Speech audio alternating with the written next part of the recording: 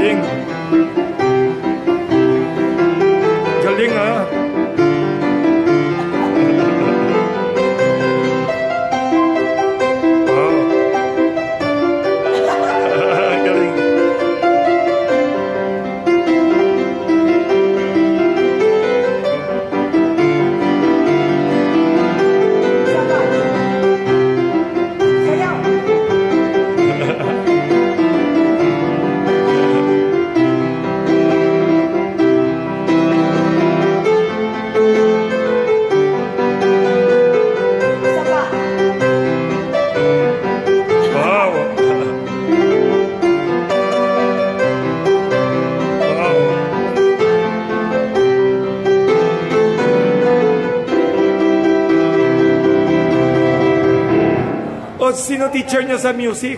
Ako? Sino nagturo sa iyo magpiano? Ako, matagal na yan. Ano, Esperanza. Isa pang isa pang uh, isa pang song na you like for piano. Wow. Galing ah. Galing ah.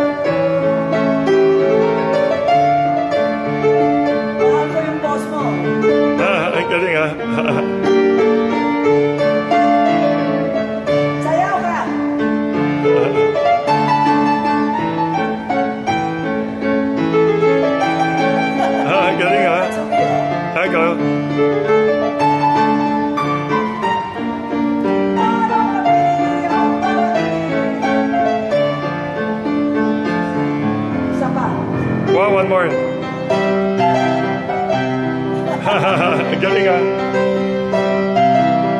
Uy, ang galing.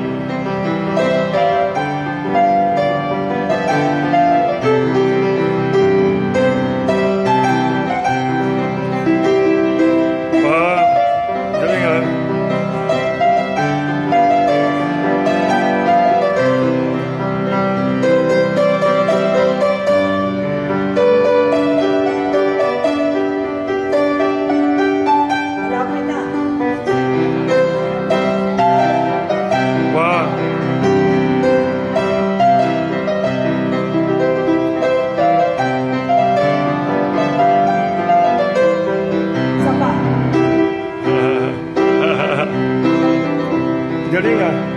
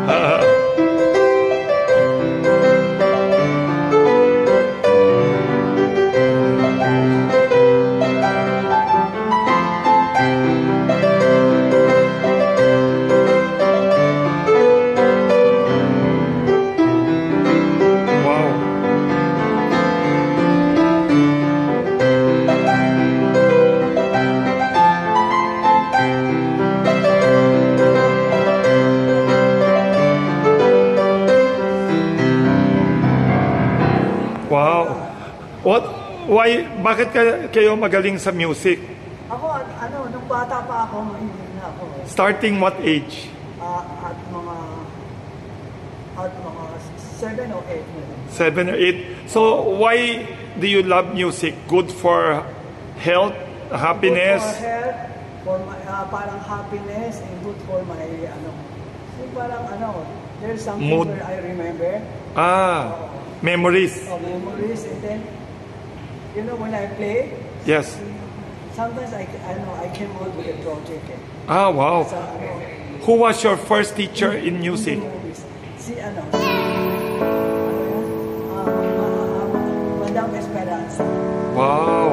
What is the last name of Madame Esperanza? You remember? Basta pangalan niya, Madame Esperanza. Esperanza. Tapos, uh, when you play piano, you get inspiration and ideas for your movies. Yeah, yeah. Wow. Do you plan to do a musical movie next time? Of course, I will, I will, I will Musical. give my partner. Yes, yes, yes, yes. Gawa tayo. Galing ha.